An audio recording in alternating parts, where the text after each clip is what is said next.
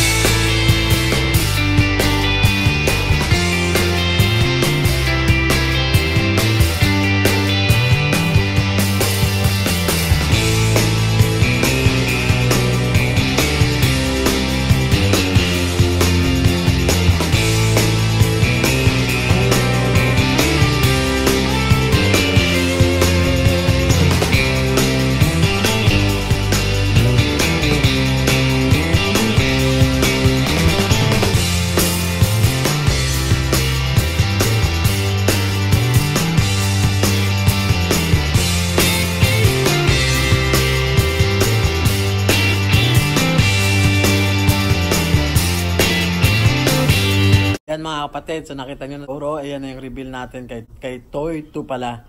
So kung sino man na hindi pa nakakaalam kay Toy 2, ayan si Toy 2. Ready. Ready na yan si Toy 2. So gagamitin natin ito mamaya pagpasok natin sa trabaho mga kapatid. So titignan natin kung anong performance ni Toy 2 ngayon.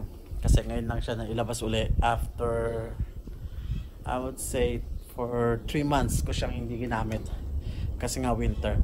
So ngayon, I guess spring na siguro. So okay na ang weather. Pwede natin siyang i-rock and roll.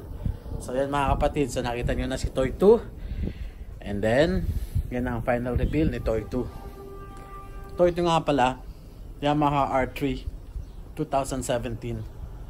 Yan ang model ni Toy 2. So yung mga kapatid, so see you later mga kapatid. Babush!